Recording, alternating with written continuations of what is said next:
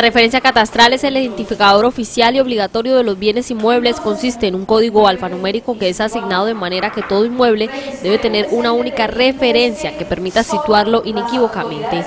Actualmente dicho registro estaba compuesto por 20 dígitos. A partir del 20 de enero del año 2014 tendrá 30 dígitos que básicamente permitirán ampliar la información del predio.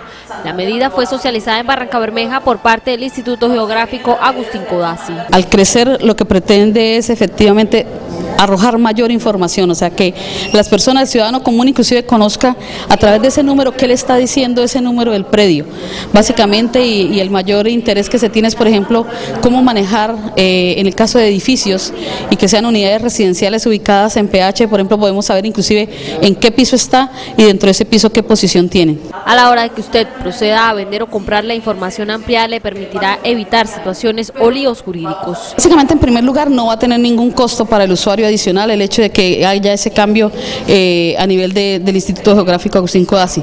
Eh, el beneficio mismo que va a tener es que va a garantizar de que su propiedad va a ser o sea, que haya garantías de que es única efectivamente. Ese número va a ser como nuestro número de cédula, que es único a nivel del país. Entonces, lo mismo será con ese número predial nacional. Normalmente con el registro antiguo podían determinar el departamento, municipio y zona. Ahora con el nuevo número nacional predial podrán determinar posiciones como sector, comuna, barrio y terreno.